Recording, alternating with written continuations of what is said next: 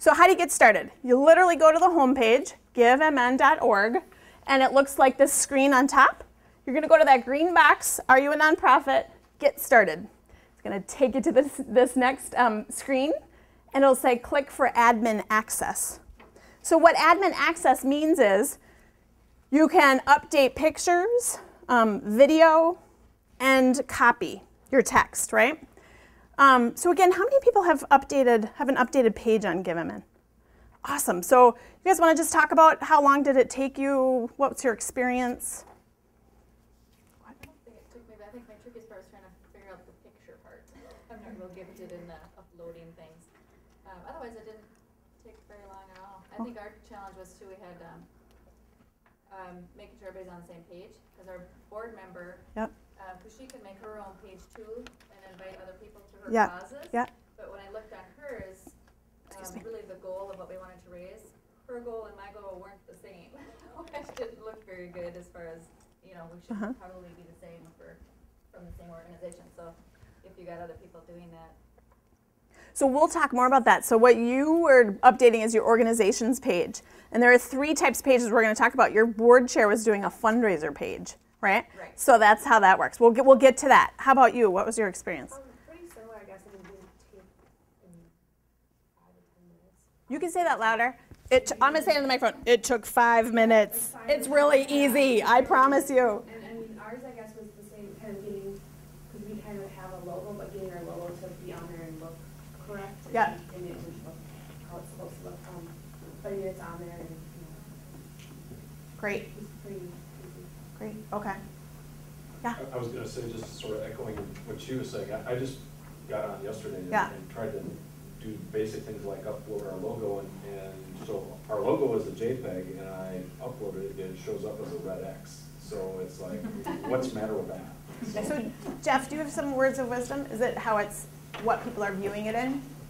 As far as uploading pictures and stuff? So the question is, when it's uploaded as a J- JPEG, but in some, is it in some uh, browsers or some I mean, viewers? Yeah, I was- I mean, it's just a standard JPEG, and, and I'm just curious, I mean, does it need to be like a GIF or a TIFF? or, No, no, you know? no. JPEG is, is right, and, and- and you want to keep, pay attention to the size. I think there is a size limit on there, so you want to make sure that the JPEG is the right size. Okay, So you may need to re- reduce your JPEG size. I mean, as far as the pixel uh, resolution? You know, optimal, I think, is around six hundred. It's, it doesn't need to be very big, because it's not a lot of space on the webpage, so, um, but if you just took one from your camera, and it's the full resolution from a camera or something, and this is a logo you're talking about, Right, right. But if you were uploading, um, well, I guess, it- yeah, if it's going in logo, it can be really small, actually. Okay. Should only be a- Alright, a few- Well, I'll play with it. but few Maybe in a break we can take a look at it too and see. I'll Um, leave, I'll leave my cards too, so that, uh, you know, I, one of the things I do at, at GiveMN is take a lot of calls about these technical details. So I'll leave my cards too if you wanna just pick up a card, and then if you ever have technical difficulties, you can call me directly. But I will repeat, it's really easy. And usually there's no technical difficulties. we'll get you fixed, I promise. Um, great. Okay, any other comments? Pages? So the organization page, what you can see up here, this is an example of um, an updated organization page. So if you remember from the last screen, it just had a logo, excuse me, and it had like the EIN information. Basically, the default information is basic info from your 990. So Razoo has a data feed from the IRS. So it's your 990 information that's the default. When you go in, excuse me, when you go in and um, um, get your admin access, it takes about 24 hours. What they're, what Razoo does is they're just checking that you're legitimately connected with the organization, right? So I can't go in and, uh, you know, trash talk about Habitat. Like I'd do that. Um, so it's basically the person's legitimately connected to the organization, and um, and then you can go in and do all the, the updating. What I picked this is as an example. This is Helping Paws of Minnesota, and um, they have a video, and it's just it's a great video. And I put um, there's a couple of tidbits here. If you do nothing else on Give on GiveMN, update your page. So get your admin access and update your organizational page. Like if you leave and you're like, okay, I have one thing to do and it's going to take me five to seven minutes, this is what we want you to do. One other stat that I think is very interesting pages that have video um, get 20% more donations. So yeah, definitely jot that down. Pages with video. And how that works is that um, you literally it'll browse to YouTube. So you'll need to upload a video to YouTube. And again, Jeff um, or I can talk you through that. It is it is really easy. If you've never done it, you know, uh, we'll be happy to help. Can you put more than one video on? Great, great question. So the question is, can you put more than one video? Not on a page. So you have, you can do more pages, which is what we're going to talk about. So for your organization page, you pick one video. So the organization page is basically like your general info, right? What is important about what you're doing. The other thing I'll point out on this page is um, on the right-hand side, it says make a donation, and there's specific um, amounts that you can suggest and suggest what they go to. So this is $40 to purchase training equipment for a service dog in training. 75 bucks to purchase a life stages oh, folding dog crate. So as a donor, I say, ah, I can do 75 bucks. That's awesome. I bought a crate for this service dog program, right? So again, it's that tangible connection to your work. The next kind of page is called a project page. And this is, um, as you can see, it looks identical to the organization page, right? So the only difference is that you, now that you have admin access, you've updated your page, you have the ability to create these pages. There's, I think there's a limit, but nobody's hit it yet. So I think it's like 150 project pages. So you can really go crazy. I dare you to do 150 project pages. No, um, but you know, people have actually approached this as a catalog of giving you can now update or you could create a bunch of um, project pages. This drills down on specific, specific programs that you run. So I'm going to pick on Habitat just because I know um, I, I know a little bit about the work of your organization. You could do a project page for each of the houses that you're building. So you can, unless the address is confidential, which might be, but you know, you can have, you can pick specific projects. So if you work with young people um, and you've got a back to school backpack drive, you can do a project page that's very specific to that backpack drive, and then you can send that out via email. You can mark it specifically to this page. It's a unique page. So you can cut and paste the link that goes right to this page um, and send it out, and you could uh, essentially market this project. So it's a different experience. People don't have to, I'll get right to it people don't have to go to your website, you know, kind of go through a couple of pages to figure out about your work and then hit the click donate now button. Does that make sense? The ability. Okay, question?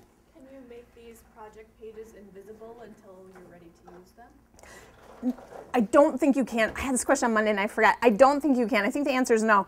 Jeff, do you know we can't? It's, you can't do dormant, right? Like can't create. They go live when you create them, and I don't think you can save them. You have to publish.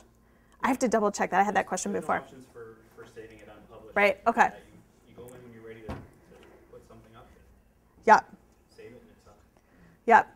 So the beauty of that is it's really quick, right? You do it, it's five minute process and it's up and it's online and it, there's sort of no administrative process to get it published. Um, but yeah, we don't have the ability to maybe do half of it, get halfway and then save. But again, it is, like I said, really easy. Um, so this is again, uh, you can micro or you can micro market to the to the projects. So I was going to say uh, we do have a um, humane society that's actually treating this like a catalog, a giving catalog, and so they've created you know like 20 project pages, virtually adopt um, spot, you know, and it's got the picture of the dog and virtually adopt, and so you can make a you know you're virtually adopting, you're giving an online donation. So it's just it's just a different take, right, on how they're marketing and using the project pages. Questions or ideas on this? I think this, I, I think this is a pretty um, useful function. The next one um, is awesome. This is the fundraiser page, fundraising page. So if you look at this, it is, um, again, identical, right? It looks just like the other pages. The only difference is this is created by an individual. So the beauty of this is I can go on at any point and make a fundraiser page for your organization it forces me to select a 501c3. So we know that every page is, this is not going to be Dana's vacation fund, right? Like this is a legitimate organization that people are fundraising for. Um, how might you, how might you use this? What do you guys think? Yeah. Just thinking in terms of our annual campaign right now, and our board is charged with um, raising twenty thousand dollars in order for us to receive a capacity match grant from Boys and Girls Club of America. Great. So we've, we're really blessed with the Bremer and the BGCA, and we're Yeah. just going to make a lot of money this year. We're just going to do great. But every board member could set up their own individual page Yeah. and say, my, my goal. And I, Right. I know, um, you commented that the goals were different, but in this case, I could see that being a benefit. Yeah. As a board member, I want to raise five thousand dollars Yeah. Right, yeah, that's a good idea. toward our fifty thousand dollar Yeah. goal. Yeah, it's per- that's a perfect example. So this is think about. I mean, your board is a great place to start, right? They can all go and create their own pages and send it to their friends. So it's sort of an insta way to engage them in your fundraising. Parents too, our club members, Perfect. parents, Yeah. huge. Yeah, and young people themselves, right? The people Yep. that are at the core of some of your work um, can set up a page, send it to relatives that live far away. I mean, it's just again this way to reach out beyond your limit, your list of potential donors. It just exponentially expands. Yeah, So how, I understand how you get the administration side of it. yeah. How would a board member go on and log in to get their profile? Great question. So I'm just going to repeat it for the um, mic. Uh, so the question is, how does a how does an individual, like a board member, go on and create a page like this? So you do have to create an account. So as an individual, just like as an organization, you have to create an account. It's uh, uh, email, and you make up your own password. So that's all the information is. Um, and then you literally click on fundraise, and it takes you through the three-click process to create this page. Now, I'm gonna I'm gonna tell you that some organ this freaks some people out, right? Like anyone can go out there and create a page and connect it to your organization. You as an admin, whoever is set up as the admin, and your organization can have multiple admins. Um, whoever set up as an admin gets an email that says, you know, in real time, ping, Dana Nelson set up a fundraiser on GiveMN for your organization. I highly suggest that you click on that email when you get it or that same day because it is published, it is live um, on the GiveMN site. And so you just want to go out there and check and say, um, you know, and then I think it's an interesting question, the issue that you brought up of, you know, my board chair's out there and she's got her page and the goal doesn't match mine and shouldn't we be on the same page?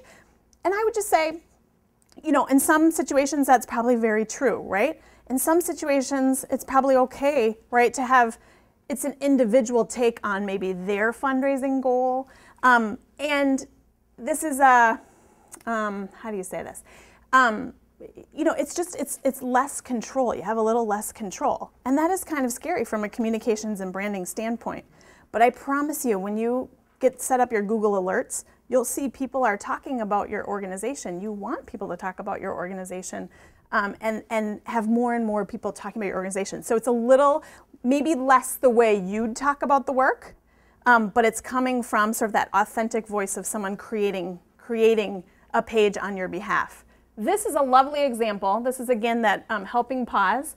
This is a couple that's getting married, and they um, say, "Help us sponsor a service dog." So in lieu of wedding gifts, they're asking for donations to help sponsor a service dog. So we're seeing a big trend here around wedding registries, um, birthday gifts, um, events, right? So you can do, you can't do ticket sales this way, um, but certainly if you guys have any like 5K walks or any of those kinds of things, you can have individuals set up their fundraising goals this way. Does that make sense? Questions about this? Yeah. so, let's say you find a page that you're really not happy with. Yeah. Okay? Yeah. Do you have the, as an administrator, do you have the ability to take that off? Good question. So the question is, um, if you see something out there you really don't like, do you have the ability to take it off as the administrator?